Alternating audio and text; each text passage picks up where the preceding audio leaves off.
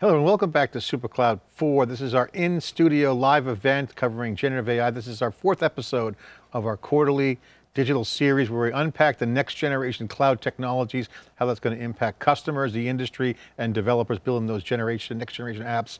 Generative AI is all the buzz and hype, as well as matching with reality. This is the first time in history I've seen in my career where hype and reality are coming together at such amazing speeds.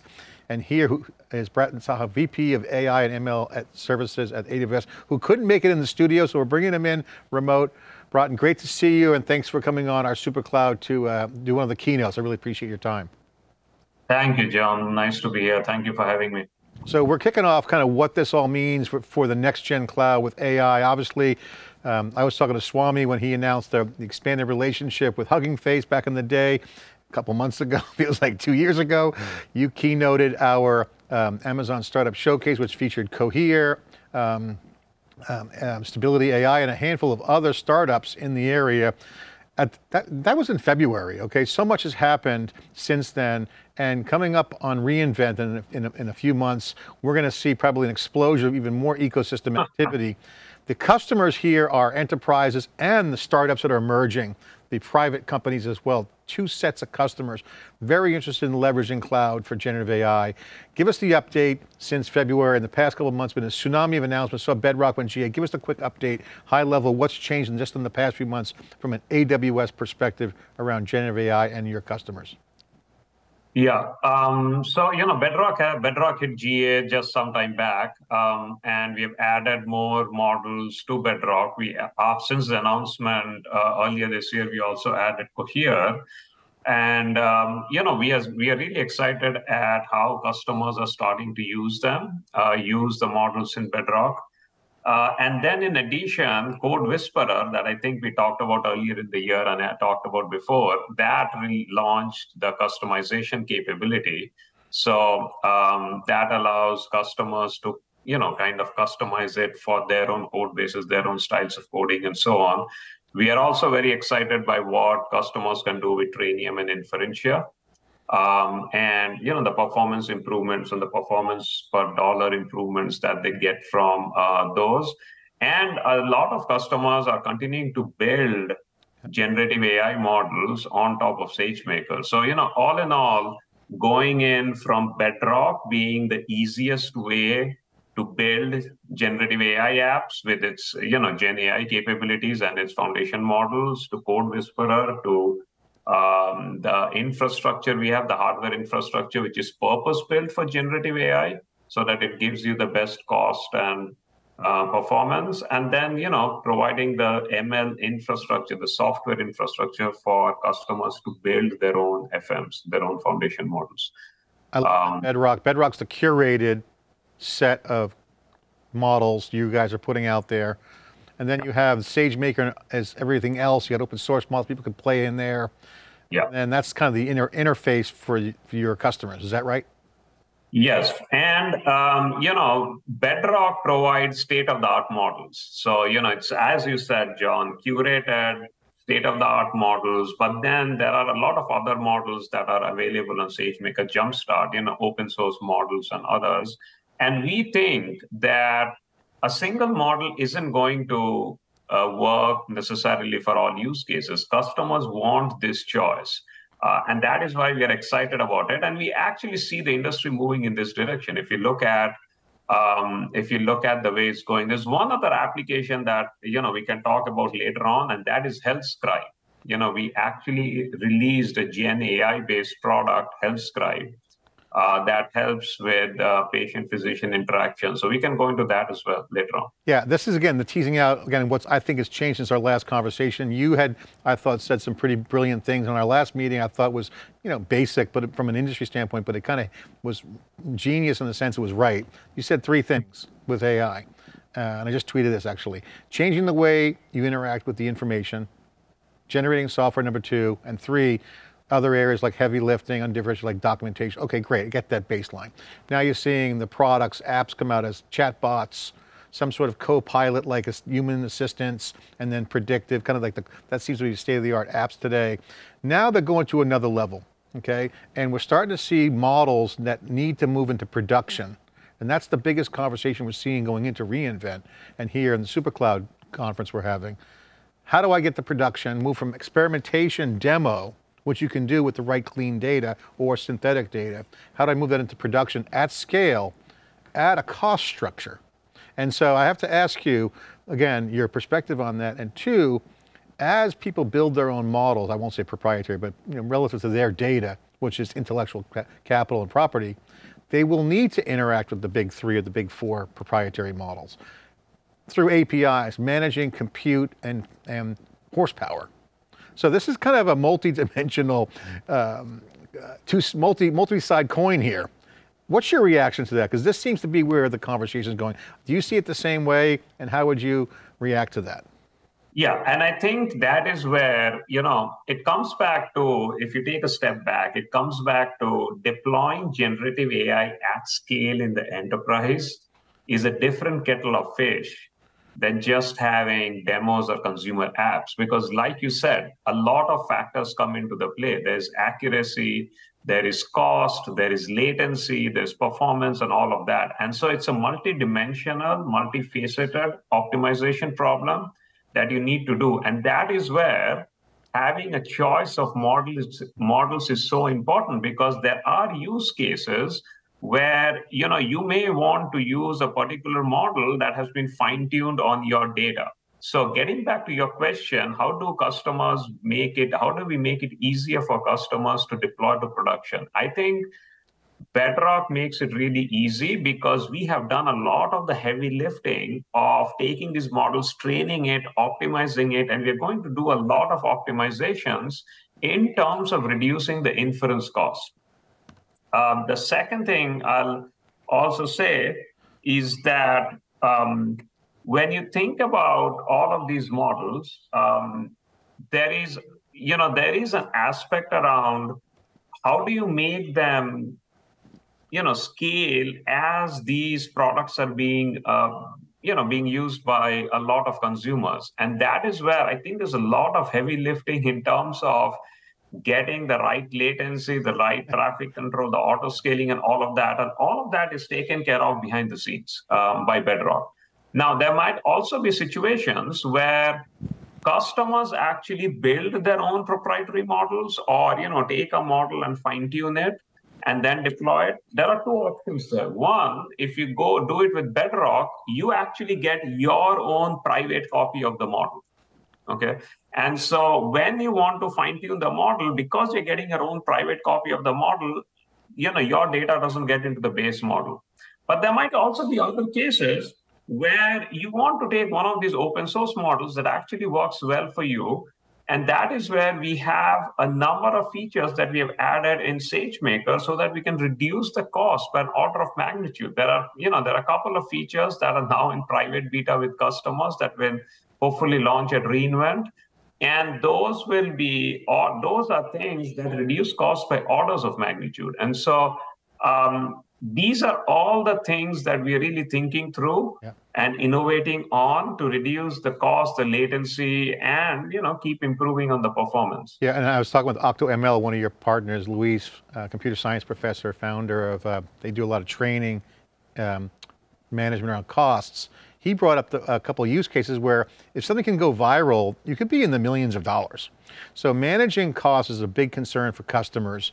Yep. Um, and so you, you, the lightweight models that you can maybe get some visibility into the unit economics of the AI is one factor. But if you, if you zoom out, there's a couple things going on I want to get your thoughts on. One is this notion of a context window, um, which is a lot around the language and all the foundation models. How much data can you bring in? The tokens that are first in, what's the throughput? Reminds me of the old uh, you know, PC days when you had to look at performance. There's a lot of throughput performance issues that need to be managed and there's a cost associated with it. And then there's the apps that are being developed. So for, let's start with the apps. You have AI wrappers type apps where people are wrapping some AI around it with the large language models. I call that the basic website, that's for analogy. You get the web and then the websites became an application for the web, to use that analogy. We're seeing a lot of really cool AI wrappers, and I was kind of down on that, but now I'm thinking that's actually cool. And then you have AI native apps, and then you have kind of under the hood platform engineering like apps.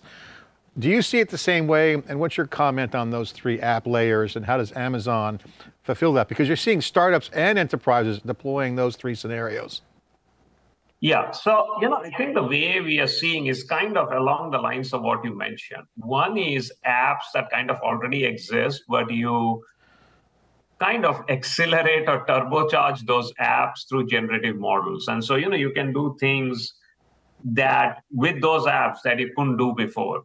Then there is the next set, which I think uh, you know you kind of call AI native or AI from the ground up, which is you really are coming up, rethinking the app and embedding generative AI from the get-go. Okay, and the kinds of capabilities that you can see in those situations are different. So we are seeing both of those happen, and you know we are doing some of it ourselves. Where if you think about Code Whisperer, it was like from the ground up, like without generative AI, you know that product isn't really there. So this is just built from the ground up. If you think about Health Scribe, again, it's built from the ground up. But then there are also other situations where you are embedding generative AI into what already exists and making it more powerful and more useful. So I think we see both of those. Talk about the throughput. On one of the big areas, again, in these big changes, you're going to see, uh, I, see a, I see a big wave back to talking about the silicon, uh, we've been harping on this for years, not that's new to the cube, but it's new to everybody else. But you know, how fast can you go with the GPUs and the CPUs, you know, compute, performance at the silicon level. So you got that infrastructure layer powering this new generation of apps. Um, whether it's context window expansion for tokens on the apps or just managing costs so that you can understand how to do policy-based stuff that's you know familiar to cloud uh, scale. Um, how should customers think about that? What's the what's the best practice from an Amazon perspective, Amazon Web Services perspective on how to manage the right horsepower, understanding the tuning, not just training, but this has got inference there as well. How to integrate with the APIs and the large language model. What's the best practice to manage all the infrastructure? I think I think it's first pretty use case specific. Um, and that is where having choice and flexibility is important. Uh, the next is depending on your use case, you may want to do, you may want to have different approaches. In some use cases, you know, the foundation model just out of the box pretty much works well, and all you're doing is prompt optimization and prompt engineering, and you know, you can play around with the context windows to allow the model to learn more from the information that you're providing, kind of, you know, in context um, learning. There are also situations where you would want to have some fine tuning to get to the right um, accuracy level. And in those situations, you want to take your model and then tune it and then train it some more on your data to get to the right accuracy level. And what that may also let you do is actually be able to use a smaller model because that model is more specialized for the tasks that you want to get done. And when you're doing that, you know, that brings down your cost envelope. There are also situations when you know you're really looking to get the highest accuracy, and in those cases, you don't necessarily and you want to restrict the answers to within a particular corpus of knowledge. And in those cases, you may want to go with a RAG-based approach, uh, where you know you're basically taking data sources and you are using uh, retrieval augmentation to generate your answers from there. Um, and then you know, then there are situations where we have seen you may want to kind of use a little bit of a hybrid approach where some of the some of the parts are maybe done by a non-foundation model approach and then some of the parts more of the you know the interactive q&a part is done by a foundation model approach so yeah. it's kind of pretty use case specific and that experimentation and you know you have to do experimentation. And so i think from an amazon web services perspective we would say look um, one size doesn't fit all yeah. you know one model isn't going to cut it you need choice you need flexibility we agree we see an integration of models we think that's the api economy at the next level i know you got a hard stop i want to get one final question in as you look at this, the use cases of the experimentation of the developer community as they get the good demos and look into production at a low cost, and you guys are focused on that. A big question comes up around how to handle the data. So a lot of data modeling is coming in to figure out, you're seeing excitement around vector databases, you're seeing how people are using, you mentioned retrieval, how do you get memory, not memory in the, on the machines, but memory in the retrieval, you know, with embeddings and whatnot. This is cutting edge stuff around this. So that changes the data modeling and hence the observability equation. How do you know what to measure? If I change my embedding pattern or change my window on context, there's going to change the results. And, and there's, there's, new metrics coming out. Can you share your view on how people should think about uh, instrumenting and looking at this, this new kind of observability? What's your uh, perspective on this? So one of the things that we have started, and I think uh, you know people will increasingly have to do this, is there's a lot of work on okay, let's go look at the accuracy of the model. But just as you pointed out, John, it's not the accuracy of the model; it's the accuracy of the end-to-end solution. And then there are many factors that go to, into building it. And so you know you have to measure the accuracy of the end-to-end um, that can often be different than just the accuracy of the model. And you may actually see the parts interacting. And then you also have to ensure that you have a data architecture that actually provides you all of the basic guarantees in terms of security and privacy and all of that uh, you know, encryption at rest and transit and all of that.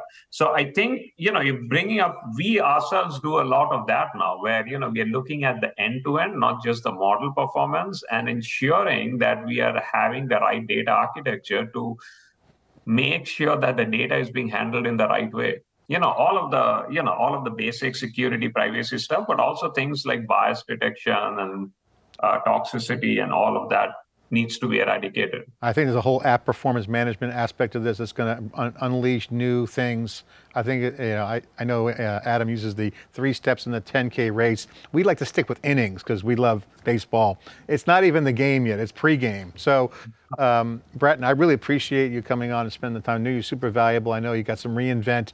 Is there any, anything, reInvent content, is there anything you want to share about reInvent before uh, it comes up uh, while we're here? You know, I think you know I'm look forward to meeting you and others at reInvent. I'm, you know, I think it will be a great, great place, and you know, I'm sure we'll have a lot of exciting announcements. You don't, you want to, you don't want to share any here? We'll meet you at reInvent, and then you know, hopefully, we can talk more there. I know you. I was just busting your, busting your, busting your chops there. I know you guys are, working on it. Looking forward to it. Should be exciting. Thanks for taking the time for coming on our Super Cloud for this keynote. I know you couldn't make it in person. Really appreciate you coming in uh, into our remote studio. Thank you so much. Thank you, John. Really nice being here. Okay. Bratin Saha, VP of AI and Machine Learning Serves AWS, breaking down what's going on as the data modeling in this new era is feeding the AI. It's about end-to-end, -end, not just model training, there's inferences, there's smaller language models, large proprietary. It's a, it's a fusion, it's a, it's a collision of innovation at the infrastructure to power these apps from AI wrappers to native applications to whole new sets of integrations. So it's going to be a next-gen cloud meets AI, and it's the same game. Performance, at the hardware level and application, whether it's cloud or on-premise. It's a super cloud either way. Generative AI is a hot topic, and we'll be back up with the next segment after this break.